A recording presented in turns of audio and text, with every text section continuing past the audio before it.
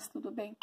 Olha eu aqui fazendo esse vídeo para você da nossa lição do Pozori, a segunda série da lição do Pozori.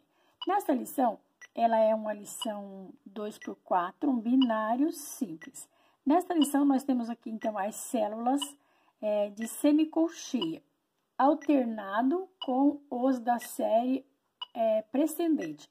Então, nós temos aqui nesta lição é, as células de semicolcheia, da colcheia, certo? Da semínima, pausa da colcheia, certo? Lembrando que é, ela é uma lição binária simples, como já foi falado. A velocidade dela é 60 bpm. O meu metrônomo não está ligado diretamente devido ele está com probleminha, por isso que está tocando direto. Então, ela é uma lição binária, certo? Então, como é que ela vai ficar é, na nossa nova sílaba, tá, né? Então, ela vai ficar assim, ó. Tá, tá, tá, tá, tá, tá. Um, dois e. Tá, tá, tá, tá, tá. Tá. Tá, tá, tá, tá, tá, tá, tá. Tá, tá, tá, tá, tá, tá, tá.